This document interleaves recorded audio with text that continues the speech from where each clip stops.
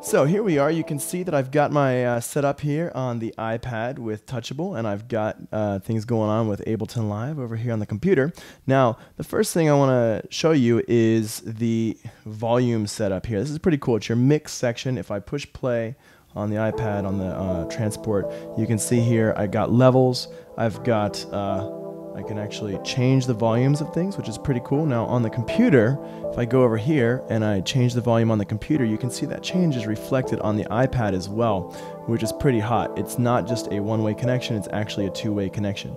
The other cool thing about the uh, iPad is I've got all these toggles so I can see everything I need, which is really cool. I've got pan reset, send reset, volume reset, uh, solo, arm, everything I really need to get going. I've also got I've also got all my sends levels here, so if I want to adjust sends levels of things, I can do that.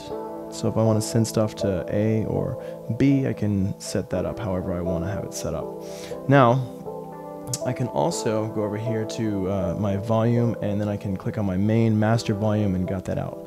All right, so what we're gonna talk about next is the basically the sections on the right hand side of the iPad. Now, you've got two sections here. You've got your transport section on the bottom, and then on the top, you've got your clip section.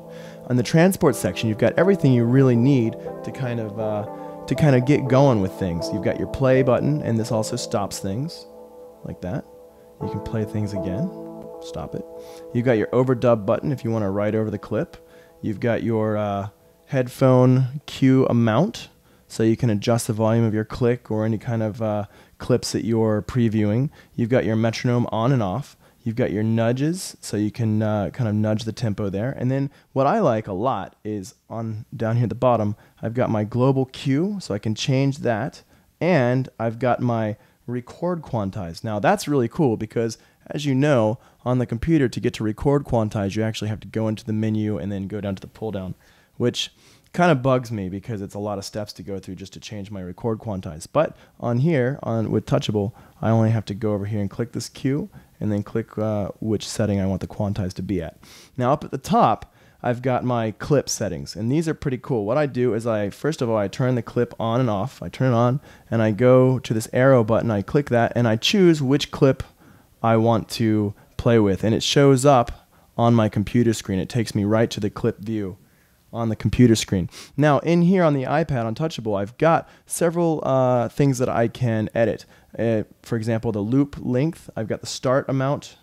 I've got my, oops, I've got my length. I can change that. And then I've also got loop on or off. And then here I've got my clip on and off. So if I want to turn the clip off, I can just click that button like that.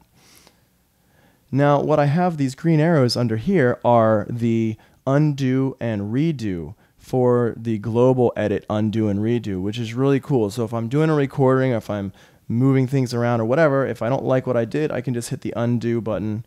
Like, for example, let's say that I change my volume amounts here, I can hit undo and change those back, which is really hot to have those buttons right there. It's not too hard to reach for Command Z, but this kind of makes it a little bit easier. So the other part of this, if I hide these transport and clip controls, now I've got a whole bunch of different controls that I can see over here on the right hand side. I've got my clips control, overall clips. I've got my mixer that I can set up. I've got my devices, my keys, and my pads, which as you can see, the pads and the keys are obviously for playing. Let's go back first though and talk about the clips and the mixer. Now, each one of these has a top view and a bottom view button on the left hand side. This row right down here is top and bottom, it says. And what it means is basically the screen is set up in a top half and a bottom half. In the top half, I can put something, and in the bottom half, I can put something. So right now, in my top view, I've got the clips view going on. And I can push play and get the clips moving. And then just like in a normal Ableton Live, if I click on a clip, on here, I can actually start that clip playing. So if I want to start my drums playing right here, so now you can hear the drums just came in.